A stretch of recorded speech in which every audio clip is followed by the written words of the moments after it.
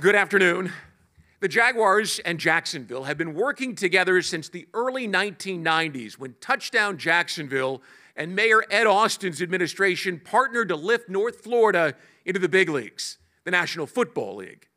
Since November 30th, 1993, it's been a labor of love to build an NFL franchise, a major league city, and a passionate fan base.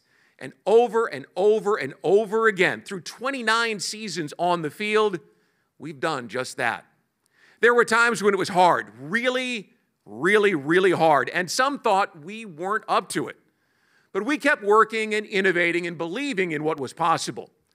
From Wayne Weaver to Shad Khan, from Mayor Austin to Mayor Delaney to Mayor Peyton to Mayor Brown to Mayor Curry and now to Mayor Deegan, it's always been about working to get the job done.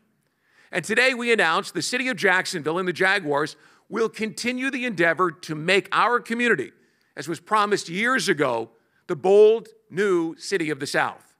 And we'll do it in a downtown stadium that shows our doubters and reinforce with our supporters that we will not be denied.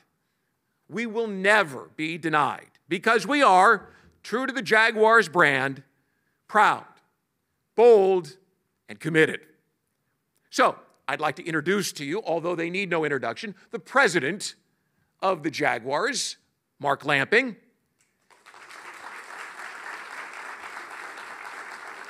the owner of the Jaguars, Shad Khan. The mayor of our great city, the Honorable Donna Deegan.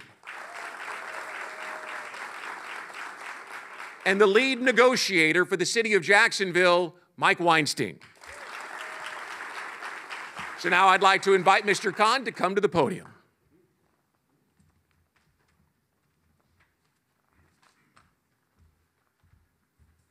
Well, thank you, Brian, and thank you, everyone, for being here. Uh, indeed, is a great day. And I had the privilege last night of joining uh, Mayor Deegan for a moment of celebration. But today, uh, it's my honor to publicly express my gratitude to the mayor, her staff, our staff, um, Ron Salem, uh, City Council President, and many others who gave everything they had. So, in four years, we'll retire the term Stadium of the Future. Uh, it's finally going to be done and complete. Uh, of course, the future doesn't happen if it's not for the commitment uh, to Jacksonville made more than 30 years ago by uh, Dolores and Wayne Weaver. Their legacy will forever be unrivaled, and they deserve our never ending respect and thanks. So, thanks, Wayne and Dolores. Um, I'll always be humbled that Wayne trusted me to carry on uh, the Jaguars tradition in Jacksonville, a city that he and Dolores have always loved. I love Jacksonville immensely, and I especially love what's possible here. Um, a lot has changed uh, from the inaugural season uh, for the Weavers in 1995 to my first year in 2012 right through to today as we prepare to celebrate the Jaguars' 30th anniversary in the NFL. But there's been one constant throughout everyone wants to doubt Jacksonville. And as of last night, that should no longer be the case. People can move on with other stuff, okay? Not a good day for uh, uh, the doubting Thomases. So, but as of last night, I think we did something very significant. And our, but we got to remember, our journey to last night's historic vote was long, but it'll always be remembered for the leadership of Mayor Deegan and her team. Also, amazing work of Mark Lamping and his team, and not to be overlooked, uh, the passionate support from the fans, residents, and business owners throughout Duval County. This day and tomorrow is yours. Never doubt Jacksonville. With that,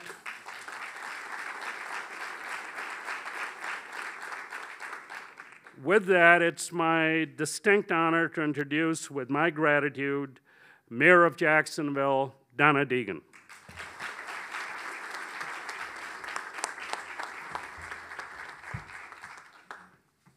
you very much.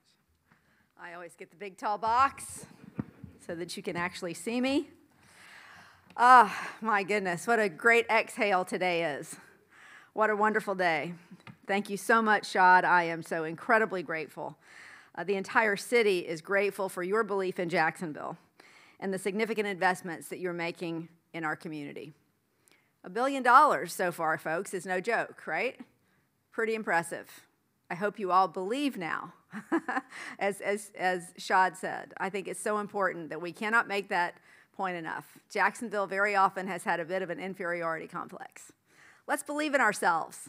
Shad believes in us, the Jaguars believe in us, and, and hopefully the evidence of this agreement is that we are going to make this a successful partnership for many decades to come. This is really an exciting day for our city. It's been, as, as Shad said, a very long time in coming. So I too want to add my thanks. Shad, Mark, the entire Jaguars team, I cannot even begin to tell you how hard everybody worked. Uh, you have been a dream, an absolute dream to work with. Uh, we knew the vision, that we wanted to get to. We knew we wanted to get to yes. We started off saying we both wanted to get to yes, and we worked very hard together to make that happen. I'm also very grateful for the diligent work of our chief negotiator, Mike Weinstein. I told, yeah, give him a hand, please. I told Mike that last couple of weeks before we closed out the agreement is, it, is going to be a great chapter in, in one of our books. We're going to call it Burn the Ships because uh, we basically went to the negotiating team. Mark knows all of us together and said, There's no turning back. We have set the deadlines. We are going to get there, and we're going to get there together. And uh, boy, I'll tell you, Mike did an amazing job, and I'm, I'm so grateful for him. I'm grateful for the Office of General Counsel. Um, as I said last night, I should probably send them flowers every day for at least a month. I'm grateful to my staff for their tireless efforts in all of this. Never, ever stopped working hard to get this across the finish line. Darnell Smith, uh, especially, I'll tell you what, he, uh, he, made, he made sure that, uh, that we kept our foot on the gas and that failure was not an option. So it really did take all of us. And it shows what is possible to do when we are all united and rowing in the same direction toward a common goal that benefits our entire city. I can't leave the city council out of that because they, that, you know, Ron Salem and the city council took the timeline too, and they said, let's drive to this. Let's make sure we do it. It's not easy to get 19 people to to work together in, in, in a fashion that, that's that um, concerted and, and focused and quick, and, and they did that. And so it really was a team effort to make all this happen. I'll never forget that moment when I was on the anchor desk and we announced what I thought to be the impossible, what a lot of us thought to be the impossible. And that is that Jacksonville got its team 30 years ago. What an amazing night. Last night's vote by the City Council and this gathering today will forever be etched into my memory, just like that night 30 years ago. This is just as big a deal, what we have today. Mark has also said many times over the past year that if we just build the stadium of the future, we will have missed a big opportunity. So I'm grateful that the Jaguars partner with us on a once in a generation community benefits agreement. We got some of that investment passed last night, and we remain committed to finishing the job when the City Council reconvenes in July. Together, we are turning renderings into reality for the betterment of Jacksonville because of the people in this room. Thank you from the bottom of my heart, and I just think it's time to make it official. What do you say, Shad? You want to want to sign something? Let's let's go let's go sign our names here on our proclamation. I have the, I have the technology. After you. Okay. This is a proclamation that, that basically takes you through the entire timeline from the day that we got the Jaguars all the way through today. So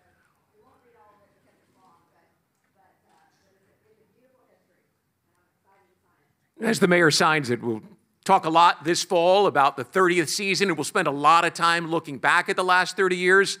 This is the beginning of looking forward to the next 30 years in North Florida.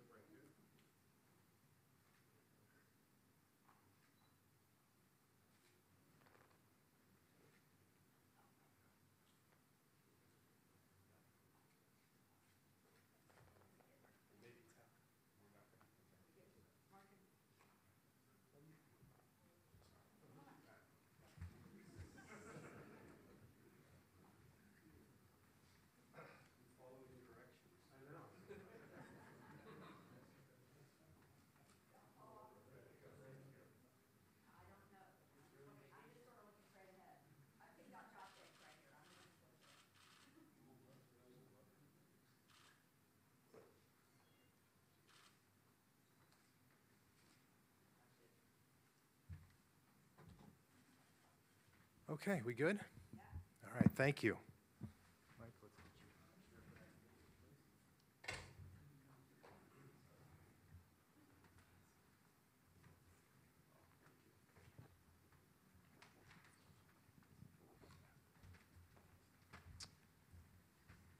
Okay, mindful that we will all um, have greater exposures and, and uh, some one-on-ones later, we're going to conduct a somewhat abbreviated six or seven question um, Q&A right now. So if you have a question, media types, uh, please raise your hand. We'll hand you a microphone.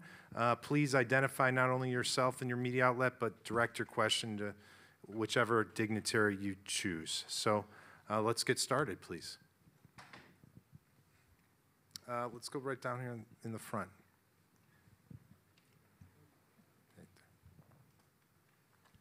Okay, thanks. David Bauerlein with the Florida Times Union.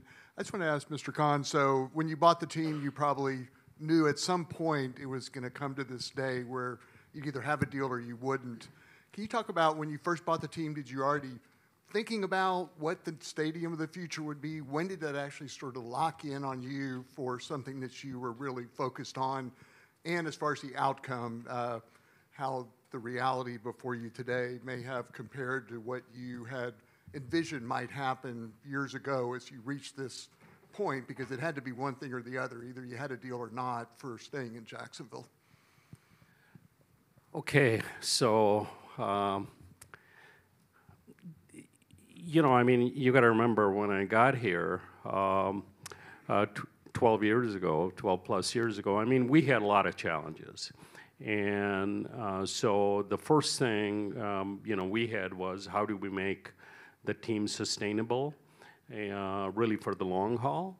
And um, so, and really from business aspect and obviously um, uh, other aspects. But uh, uh, you know, as time went on, it was uh, very evident that uh, we needed, you know, a stadium. We needed facilities. Um, I think what you're sitting here, uh, MEC, I think is a great example of that, the private-public partnership. Um, this is a small market, and uh, really the public-private partnership is what makes it work or doesn't make it work. So, um, and early on, really, the city was very helpful when we did some upgrades in the stadium right here. So, you know, I've always been optimistic that uh, we will figure out a way um, to have a long-term, uh, really, solution. Now, the stadium, um, you know, my goal was that we want to have a stadium that is state-of-the-art, uh, will uh, really uh, sustain uh, for the long haul, uh, be an icon for the city, lead to economic growth. Um, there were, you know, there have been challenges here over the past. Uh, uh, how do we bridge all those, bring people together, but really architecturally be something that's very significant and no compromises. So with the public-private partnership, it's really important that we don't waste the city's money, and frankly, we're not wasting my money, okay? So our interests were aligned, and yet be no compromises. So some of the things that really have not been talked about, uh, the stadium process started probably four years ago. You know, Mark can elaborate on that.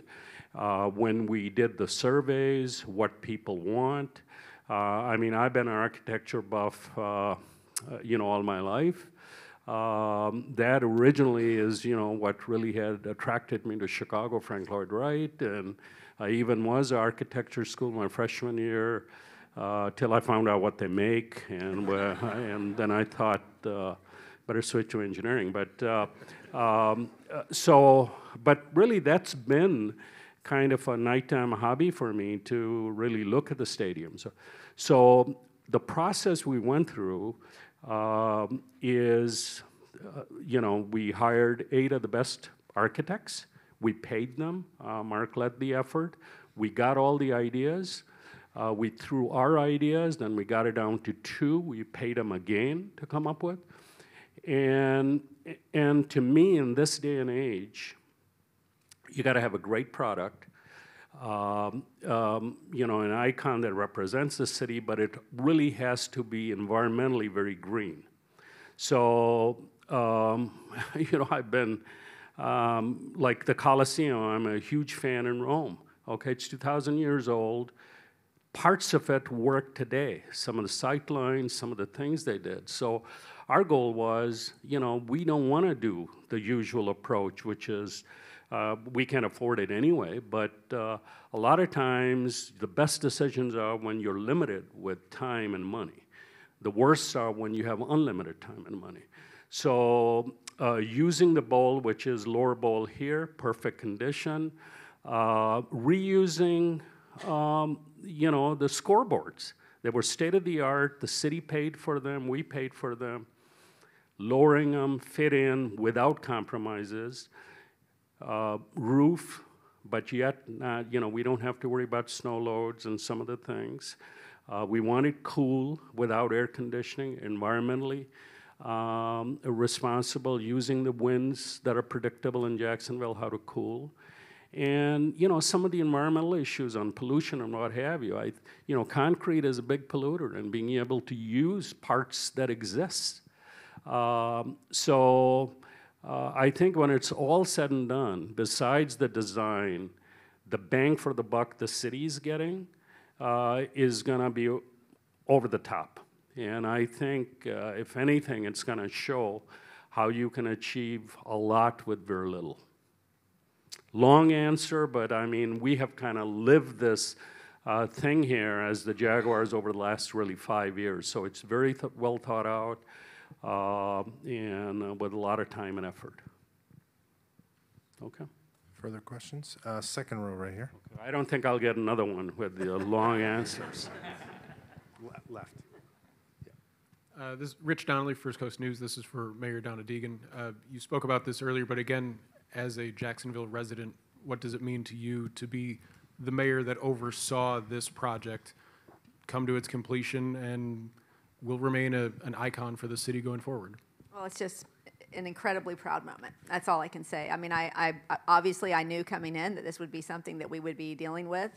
Uh, it became a top focus, wanting to get move through it uh, as efficiently and quickly as possible, getting the best deal for all involved. And fortunately, uh, Mark and, and Shad were on that same page. Um, Mike was a was a fantastic negotiator. Uh, so for me personally, it's just a real point of pride that not only that we were able to bring this in for a landing and have the Jaguars be with us for 30 more years, but all that portends for the rest of the city as we look to grow our downtown and, and, and, and create the type of city that we all really want to have and believe we should have. So um, very, very proud today and, and frankly relieved to get it over the finish line. Rich, if you could share with Jamal right next door, he's got a question. Uh, Jamal St. Cyr, News for Jax. Mr. Khan, uh, you've mentioned the Weavers throughout this process, and I guess the board behind you says we did it again. Wayne Weaver was the owner, owner the first time that the city of Jacksonville went through this process. Have you uh, confided with them, talked with the Weavers throughout this process at all? They were aware of what we're doing since the vote. Uh, you know, I've not been able to talk to him, but I did text him. You know, we did it again. Okay, so obviously, you know, his legacy is, uh, I think, just uh, will live forever. So, uh, but uh, regrettably, I didn't talk to him this morning. I tried. So, yeah. Questions? Dan, right here, front and center. Uh, Mr. Khan, Dan Hicken, Action Sports Jax, congratulations. Um, I can't handle all the big numbers up here, but I do know sports, and I haven't had you on camera uh, since the signing of number 16. So I'm curious uh, about your thoughts about that negotiation, how that went, and having Trevor along with this stadium and pretty good coach as well going forward with your franchise. Yeah, I, I think, you know, uh, you need all of that. And I think uh, we're sitting in this building, you're looking at that. Expectation should be up too, that, you know, for us, uh, uh, you know, winning, winning now is expectation. So uh, uh, I think, um, uh, you know, obviously, I've talked to Trevor a lot over the last few years, and um, um, you know, from really, that was COVID year even before the draft. So I'm really, uh, you know, I think he represents the city, he represents the Jaguars. Couldn't ask for any, anyone better. And uh, so, um, you know, obviously, I was hoping that would get done before this, but, uh, and I'm glad it did get done. So. Straight ahead here, Will. Good afternoon. Will Brown, Jacksonville Today. Forgive the mask, I've been sick all week, but I wanted to be here. Uh, uh, Mr. Khan, this, mes- this question is for you. Um, how did the, the lessons of, of Lot J and previous development attempts um, spur this, this reno- for your perspective, spur the renovation to get across the line? What were some of the lessons from those challenges that you would say helped in this negotiation? Yeah, I, I, um, I think we learned that um, we're going to control our own dialogue, that we're not going to allow um, an advocate of ours, and in this case, and it was, it was, it was all well-meaning, but um, the J, the, the narrative was really controlled by the mayor's office, and um, we didn't get the result by a vote of 12 to 7, I need to remind you, did not get the vote. Um, But we decided coming out of that, if, if we're going to fail, we want to make sure that we're failing through our own dialogue and not looking and saying, boy, I wish this third party would have done something differently. So, you know, there were, there was a lot of positive things that, that came out of that. Had some very honest discussions with really key people, David Miller uh, being, being one of them. Some of the people that were uh, the biggest opponents of Lot J, I'll use, uh, you know, uh, Councilman Carlucci as well, uh, really were great um, uh, counsels to me personally going forward.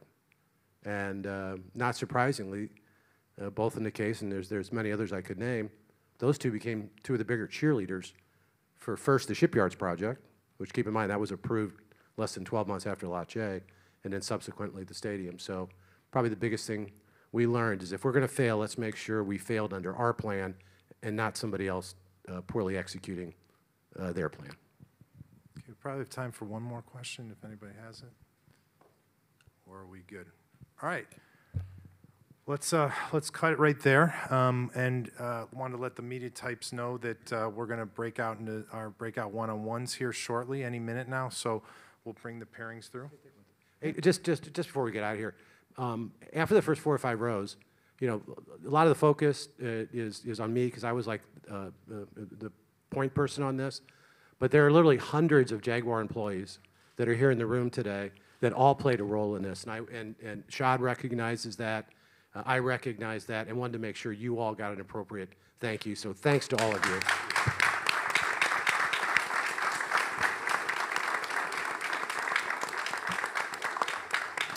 Well said. So we're going to break out to those breakout one-on-ones. These four, our four guests up here will be up in the media workroom in a little bit over an hour after these one-on-one circuit uh, completes itself. So um, we will see you all very shortly, and thanks to our, our front office brethren for, uh, for being here for this historic moment. Thank you.